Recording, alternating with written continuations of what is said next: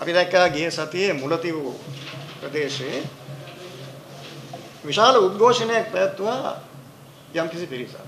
හමුදාව ඒ ඉඩම් වලින් ඉවත් විය යුතුයි කියලා. முல்லைத்தீவு கேப்பவலவில் கடந்த வாரம் இடம்பெற்ற போராட்டத்தில் பொதுமக்கள் ராணுவத்தை வெளியேறுமாறு கோஷமிட்டனர் அரசு அதிகாரிகள் வாகனங்களை மறித்து வீதியில வந்து போராட்டம் நடத்தினார்கள் ஆனால் அவர்கள் மீது அரசாங்கம் எந்த நடவடிக்கையும் எடுக்கவில்லை. ஆனால் தம்புத்தேகமவில் கடந்த இருபத்தி எட்டாம் தேதி ராஜாங்கனி நீர்த்தேக்கத்தை சுற்றியுள்ள விவசாய நிலத்தை தனியார் நிறுவனம் ஒன்றுக்கு வழங்கியுள்ளதாகவும் அந்நிறுவனம் ராஜாங்க நீர்த்தேக்கத்திலிருந்து நீரை பயன்படுத்த உள்ளதாக குறிப்பிட்டு இதற்கு விவசாயிகள் எதிர்ப்பு தெரிவித்து போராட்டம் நடத்தினார்கள். இந்த போராட்டத்தில் கலந்து கொண்டவர்கள் மீது கண்ணீர் புகை மற்றும் நீர்த்தாரை பிரயோகம் மேற்கொள்ளப்பட்டது. இதில் அப்பாவி பொதுமக்கள் ஐம்பத்தேழு பேர் கைது செய்யப்பட்டார்கள்.